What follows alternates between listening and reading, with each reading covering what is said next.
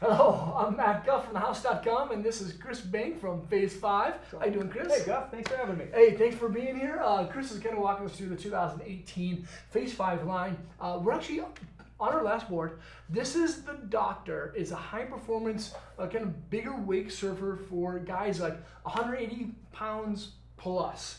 Um, with, with a big style board for big style guys, does it still perform as well? Is it still, is it still fast? Is it is it, does it do everything that a big guy wants a high performance board to actually do? For a big guy, it's just what the doctor ordered.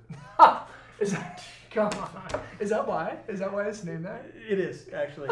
So, uh, so the, Good job. With, with high performance wake surf style boards, um, normally, they're, you know, a surf style board has a little less volume in the thickness of the board and a little narrower outline. Which, Sure. if you know, once you get to that 185 to 200 pound mark, Mm-hmm. um, even if you go with a longer board, it's just not as forgiving and Got fun it. to ride for a, a bigger, stronger guy. Yep. Uh, so the doctor, we uh, we've done a couple things. We added a little bit of volume into the into the build of it, so it has Mm-hmm. Yep. it's going to ride a little higher to accommodate more weight. Yep. Uh, from a surface area standpoint, we've made it, it has a more of a, a, a full outline to it, um, which is more surface area. So again, the board's going to ride higher on the water. Sure. Uh, so these are things that are kind of, you know that help a bigger guy Mm-hmm. do things well. Um, the other thing that's really nice from a performance standpoint about the Doctor is if you look at the outline here, this line is very parallel to this line.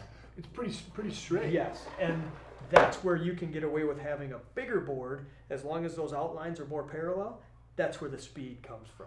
Got it. So because if it was bowed out a little bit more, maybe a little bit slower, It'll maybe slow it not as down, quick, correct. edge to edge. Yep. Got it. And the, the tail and the nose, like the, there's, well, what is this? You just carbon fiber stringers to make the tail just a little bit stiffer. Yep. So this is a uh, this is what we call vector netting. Um, so the construction of this board is an EPS foam core. Yep. So kind of like a regular surfboard build. Yep. Uh, with the stringer in the middle. So this is this is going to have a carbon fiber stringer on the top, Full as length. well on the bottom, full length. So that adds that stiffness and rigidity, which Got equals it. speed. Got and it. then on the back, you add in this vector netting, which is Mm. kind of like a carbon fiber. So it's gonna it's a stiffening agent. Sure. So, so when you go to hammer a big turn off the top, or if you're going to do a bottom turn and you're really pressing on the board, um, there's more stiffness and rigidity there Got for it. you.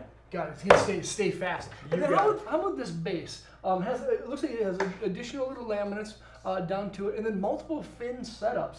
Uh, what's the story with the fin, fin setups here? Yeah, so um, with as, as with most surfboards, and the doctor follows suit, uh, your best position just out of the box is going to be to use this uh, this uh, deeper surf style shaped fin. So uh, a little deeper for hold. It has more rake here, which is where speed comes or where drive comes from. Yep. You have a longer base where speed comes from. Sure. Uh, and it's best to set this up in the forwardmost position on the outside. That's Got where it's it. most forgiving. It's still going to spin really easy. Um, and from there, if you wanted to have a board that will arc a little bit longer bottom turn or um, or to hack off the off the lip, you can you can mess around with moving these fins around. But out of the box, forward to the outside.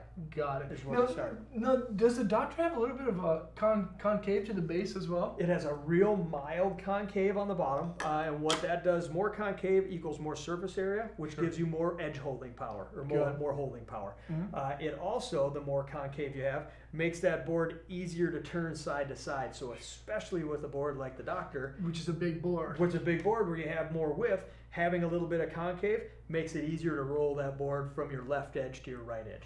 Got it. And that's what makes it a little bit more high performance. Like if it was if it was flat, may may feel a little bit staggered from edge to edge, maybe not as quick. it just a cruise down the line. But this one has all the you know all the maneuverability, the versatility, the airability Yeah. of a smaller board. Sure. Just designed for you know bigger, stronger guys. This is what I need. The, doctor. What it ordered. What There- the doctor ordered. There you go.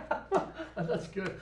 Chris, man, So- thanks so much for being here. Thanks for having me, Guy. You're welcome, and thank you guys, of course, for watching. If you don't leave a comment or question, uh, let us know what you think of uh, the Doctor board from Phase Five. Of course, uh, yeah, the, links below. Uh, subscribe to the channel, check out more vids, and hopefully we'll see you guys in the water.